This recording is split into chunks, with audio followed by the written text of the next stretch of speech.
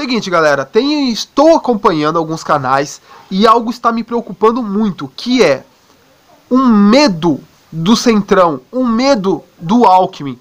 Galera, põe na sua cabeça uma coisa, se você tá com medo do crescimento do Alckmin devido ao apoio do Central, você é bitolado, você não sabe analisar a conjuntura política, beleza?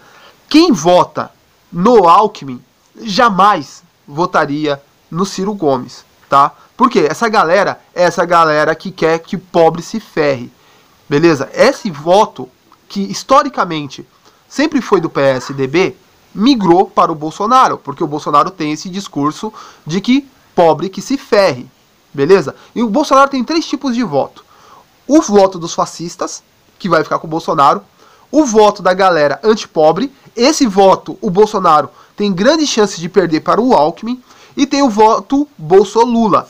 Esse voto Bolsolula é o que nós, que somos, que apoiamos o Ciro, podemos retirar do Bolsonaro. Esse voto não vota no Alckmin.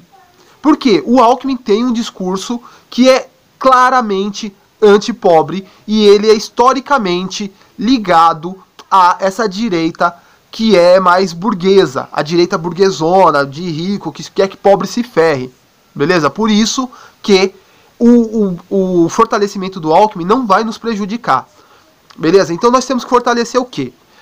O discurso da incoerência do voto no Bolsonaro. Essa galera que é o Bolsolula. Por quê? Essa galera que é Bolsolula, elas são pessoas que são movidas pelo populismo. São pessoas que querem saúde, educação e segurança públicas de qualidade. E isso o Bolsonaro não entrega. A gente tem que fortalecer e mostrar essa incoerência. Se o Bolsonaro tem um discurso de que ele quer reduzir o Estado, reduzir impostos e. Como é que eu posso dizer assim? Aumentar a eficiência do Estado, esse discurso dele não faz sentido. Porque para você melhorar a eficiência na educação, você precisa ter investimento. Quem vem da escola pública, como eu vim, sei que na escola pública o problema não é a cartilha gay, como o Bolsonaro fala. O problema é infraestrutura, qualificação dos professores, qualificação do material didático, no caso, é, mais acesso à internet, você não tem, em muitas escolas públicas, não tem acesso à internet, não tem sequer um laboratório de informática, tá? A, as, as bibliotecas são um lixo, não tem nada lá. Então falta infraestrutura. Pô, meu, eu tô falando de biblioteca, tem escola que não tem carteira para os alunos estudar, tem escola que não tem sala para os alunos estudarem.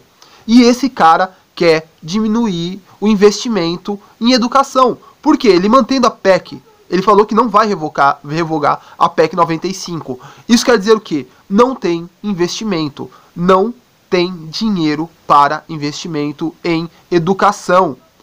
Beleza, vamos para a parte da segurança. Qual é a proposta do Bolsonaro para a segurança? Armar a população. É essa a proposta dele.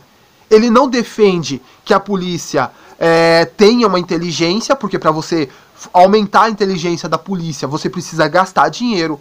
A infraestrutura da polícia também ele não defende, porque, como eu já disse, ele defende a PEC é, 95, o teto dos gastos, é incoerente o discurso.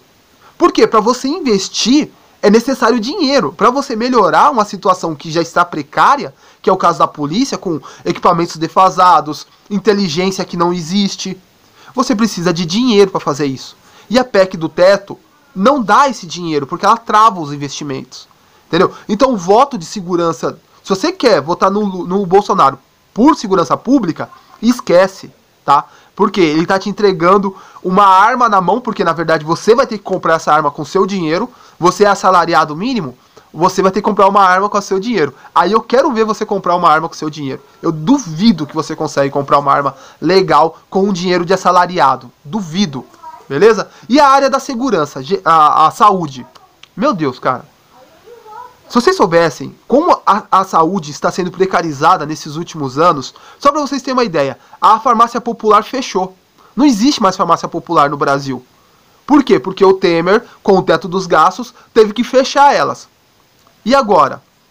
Hein? A minha avó que é diabética, eu tô tendo que comprar remédio para ela. Né? Remédio que antigamente, na época do Lula, na época do PT era de graça. Quer dizer, de graça não, alguém pagava, mas porém, era o imposto né, que pagava isso aí. Hoje em dia, para quem está indo nos impostos? Para o rico, para o fazendeiro, que o Temer deu isenção, para os petroleiros lá que estão vindo de fora, que o Temer abriu, deu é, isenção para eles. Entendeu? O dinheiro está saindo do povão e está indo para a mão dos ricos.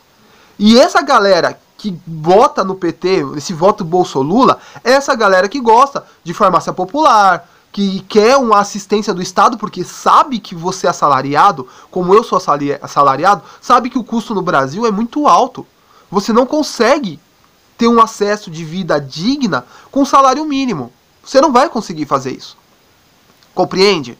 É esse voto que a gente tem que correr atrás. E esse voto não vai para o Alckmin, tá?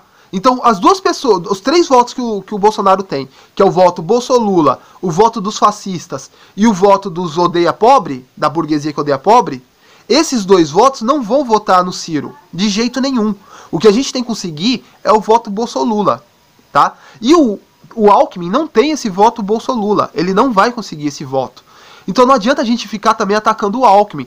Deixa o Alckmin e o, e o Bolsonaro se pegarem a melhor coisa que aconteceu pro Ciro foi o Centrão apoiar o Alckmin, como eu já disse no começo do vídeo. Beleza, galera? Eu não vou estender muito para não ficar grandão o vídeo. É isso aí. Então, para de ter medo disso, tá? Para de ter medo do Centrão. Sabe, eu me sinto com vergonha alheia quando eu vejo um cara que defende o Ciro falando: ai, mas agora o Alckmin vai ter o apoio do, do Centrão. Ai, nós temos que nos preocupar com isso. Cara, por favor, tá?